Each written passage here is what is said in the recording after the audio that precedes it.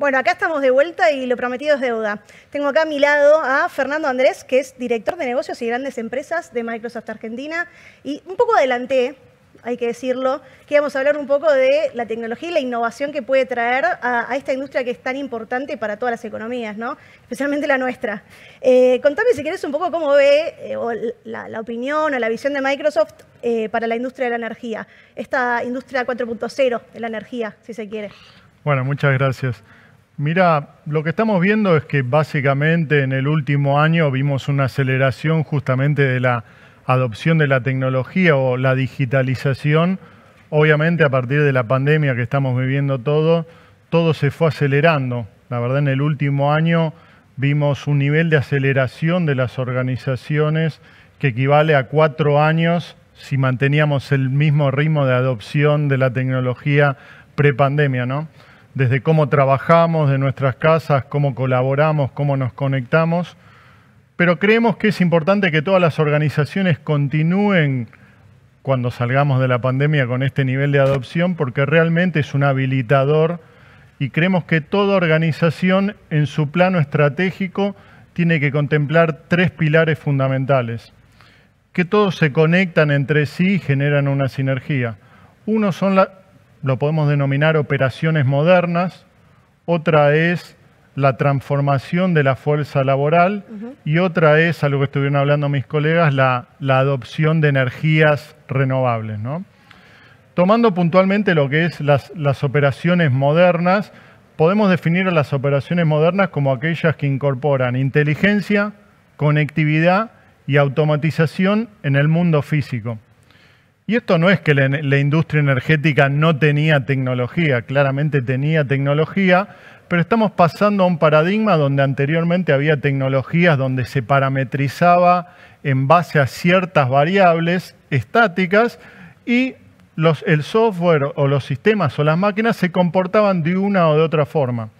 Hoy a partir de la inteligencia artificial eh, se están incorporando máquinas que pueden en forma automática y dinámica predecir qué es lo que está ocurriendo y hacer una corrección y en tiempo real operar en forma distinta. Entonces esto está abriendo nuevos paradigmas de negocio, nuevas formas de trabajar, que según nuestros estudios las organizaciones que incorporan este tipo de operaciones modernas a través de la conectividad y la inteligencia logran eficiencias entre un 17 y 20% en sus operaciones. Para ponerlo en un ejemplo, anteriormente cuando alguien estaba eh, realizando la exploración de un yacimiento, contaba con un montón de información histórica, con información del suelo y se definía una estrategia de exploración. Hoy en día existen taladros inteligentes que a medida que van perforando tienen sensores y van capturando esa información y van aprendiendo, asistido obviamente por un humano que está en superficie, pero en tiempo real, segundo a segundo, va modificando la forma más óptima de, perforación y de cómo explorar ese yacimiento. Buenísimo el ejemplo, perdón. O sea, no tenía ni idea que existían esa clase de sensores que te daban información minuto a minuto, sí, pero digo, es casi, no te digo ciencia ficción, pero está mucho más avanzado de lo que a priori uno puede llegar a pensar. No, te puedo asegurar que no, no es tecnología del futuro, existe hoy en día y hay muchas organizaciones que lo están aplicando para ser cada vez más eficientes. Y viste que cuando hablamos de tecnologías hoy por hoy, especialmente cuando hablamos de software, está toda esta cuestión de la nube, ¿no? Eh, y seguramente empresas de consumo masivo, sí, digo esto, la nube, como este concepto etéreo, pero mm, en empresas de consumo masivo o, empresas que no tienen... Eh, tanta necesidad de la energía en sus operaciones críticas, eh, se habla mucho de, bueno, estamos haciendo nuestra transformación a la nube como una innovación dentro de las tantas que pueden existir y una reducción de costos. Pero concretamente, ¿cómo puede ayudar esta transformación eh, o esta ida a la nube eh, en las empresas de, de energía? Bueno, mira, tomando ese punto podemos hablar un poco, profundizando el primer pilar, que es operaciones modernas y la democratización del acceso a estas tecnologías a través, obviamente, del cómputo en la nube. Básicamente hoy la tecnología y la nube es algo que trasciende y atraviesa la sociedad, las organizaciones y la industria energética. Lo vemos en nuestro hogar, lo vemos en nuestros lugares de trabajo, lo vemos en la sociedad y lo vemos también en las relaciones humanas y personales. Nosotros creemos que en un futuro cercano, inmediato, todas las organizaciones eh, de la industria energética van a transformarse en una empresa de tecnología. Y para realmente poder aprovechar eh, el poder de, la tecnología, tomamos un concepto que se, inventó en Boston, o lo definieron un grupo en Boston, que se llama intensidad tecnológica, que es básicamente tratar de traducir en una ecuación cómo se potencia la incorporación de nueva tecnología con la capacitación de las personas, de nosotros mismos y la velocidad de adopción. Nosotros creemos que es vital que cada organización tenga esta intensidad tecnológica para, incorporando tecnología, poder definir su propia identidad y huella digital. Obviamente existe la nube, esto que decimos la nube, y hasta los chicos, mi hijo habla de la nube naturalmente. Lo que hizo la nube no fue más que democratizar el acceso que requería grandes inversiones de capital para grandes centros de cómputos y que no podía acceder todo el mercado energético o todo el ecosistema que estaba a su alrededor. Entonces, hoy directamente cualquier organización que forme parte de una cadena de valor del sistema energético, pagando por uso, por mes, por minuto, por segundo, puede acceder a todas estas capacidades de, cómputo y de tecnología. Solo resta tener intensidad tecnológica para saber bien a dónde apostar y cómo utilizarlo. Me encanta esto que dijiste de que todas las empresas van a ser empresas de tecnología. Es algo en lo, que varios analistas también creen. Pero en concreto, ¿tenés más ejemplos de cómo, por ejemplo, Microsoft está ayudando a las empresas energéticas em, a poder transformarse o a poder eh, reducir sus costos o poder tener todo este análisis de información, si se quiere, en tiempo real? Porque me interesó lo del taladro, te voy a confesar.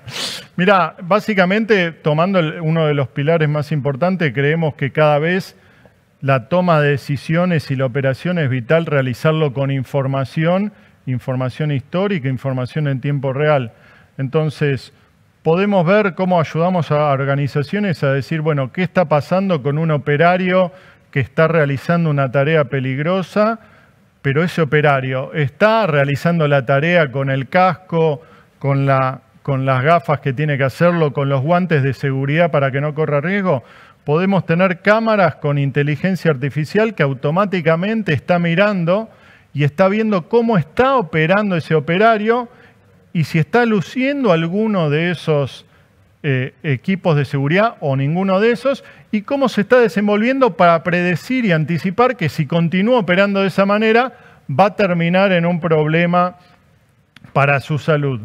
También existen otros ejemplos donde podemos ver en lo que es el mantenimiento preventivo automáticamente con servicios cognitivos nosotros podemos poner un sensor para entender si una determinada máquina está vibrando y monitorearla en tiempo real o a través de cámaras ver si se está elevando la temperatura. Entonces podemos a través de la inteligencia conectada y sensores entender y optimizar los costos operativos para entender cómo planificar anticipadamente que las cuadrillas de operarios puedan reparar una máquina evitando mayores costos. Y por último, un tercer ejemplo. Anteriormente se juntaba un montón de información para entender dónde montar una refinería, dónde era el mejor lugar, cómo planificar un oleoducto, cómo definir dónde poner una planta energética. Hoy existe el concepto de gemelos digitales, que no tiene que más que representar un plan, en un plano digital un plano físico tomar información histórica, pero que ese gemelo digital luego se alimente automáticamente de sensores, correr simulaciones y de esa manera poder correr la operación en forma más eficiente y obviamente teniendo menores costos y menos consumo de energía. Y menos riesgos. Y menos riesgos. Me encanta el concepto de, de, gemelos. Pero viste que a veces cuando hablamos de tecnología parece como todo muy técnico, muy mecánico. Y en algún punto vos dabas un ejemplo muy concreto de cómo también la tecnología cuida a las personas. Y en definitiva, la transformación digital es transformación de personas. Entonces, me gustaría saber tu opinión sobre cómo pensás que algunas de estas tecnologías de las que hablabas no solamente ayudan a transformar al negocio, sino también a las personas que trabajan dentro de ese negocio. Sí, para nosotros, por eso te decía que eran como tres pilares que, que generan una sinergia entre sí existía la intensidad tecnológica, pero el segundo pilar era la transformación de la fuerza laboral. Cada vez a través de la tecnología trabajamos en forma más remota, más colaborativa, y, es importante entender que los empleados tienen que tener una agenda de intensidad tecnológica, pero no solamente pasa por los skills técnicos que pueda tener un ingeniero, sino también por los skills soft que tienen que desarrollar las personas. Hoy vamos a estar trabajando en mundos cada vez más conectados, donde tenemos empresas, por ejemplo, de la industria energética en Brasil, que a través de un dispositivo de realidad mixta tiene las manos libres, está operando una máquina, tiene una duda, presiona un botón y automáticamente tiene un asistente remoto que tal vez es un experto que está en otro país, en otra locación, que habla otro idioma, pero que es el experto específico para asistirlo en esa tarea y compartir una visión. Eso requiere el desarrollo de skills, de inclusión, de aceptar distintas culturas, distintas formas de hablar, distintos lenguajes, donde los recursos tienen que estar preparados para eso. Nosotros creemos que realmente sí cada vez hay más tecnología, sí cada vez hay más máquinas y automatización, pero un futuro es la redefinición de los puestos de trabajo donde el ser humano y la máquina van a trabajar en forma conjunta, no va a ser como Terminator que, va a aparecer la máquina y, va a eliminar, sino que se van a crear nuevos puestos de trabajo y, vamos a convivir y vamos a tener que capacitar a las personas. Me encantó igual el ejemplo de estar tratando de eh, ver una máquina en tiempo real en otro lugar y tratar de, hacerlo de forma remota, ¿no? Em, y contame un poco, porque capaz estamos hablando como de industria más tradicional, ¿no? Pero la tecnología, ¿cómo puede asistir quizás a que algunas empresas de, energía también hagan su transición o empiecen quizás en este terreno de las energías limpias? Bueno, mira, eh, la verdad, el tercer pilar que hablábamos era la reconversión a energías más limpias. Eso es una deuda, pensamos, de la humanidad, de la sociedad y lo necesitamos todos para seguir habitando este país. Eh, creemos que realmente hay que transicionar y lo, puedo hablar desde dos aspectos. Uno, desde el nuestro propio. Nosotros tenemos un compromiso de disminuir nuestra huella de carbono y anteriormente eh, el colega de Pricewaterhouse hablaba de hidrógeno o energías renovables. Es de público conocimiento que nosotros estamos en nuestros propios data centers generando ya pruebas en la vida real de cómo incorporar hidrógeno como fuente de energía para ser más amigable con el medio ambiente y estamos ya realizando un montón de pruebas. Obviamente estamos realizando alianzas con la gente del ecosistema de energía para entender cómo hacer el transporte, el almacenamiento, para que sea costo eficiente poder acceder a estas energías. Y por otro lado está el aspecto cómo podemos ayudar a todas las empresas del, del cemento energético a ser más amigables con el medio ambiente y disminuir. Bueno, básicamente pasa por este concepto de gemelos digitales, cómo tener smart grid o redes inteligentes monitoreadas con inteligencia artificial que nos permitan manejar el balanceo de carga de una red inteligente y de esa manera generar menor consumo este, y tener una menor huella eh, de carbono. ¿no?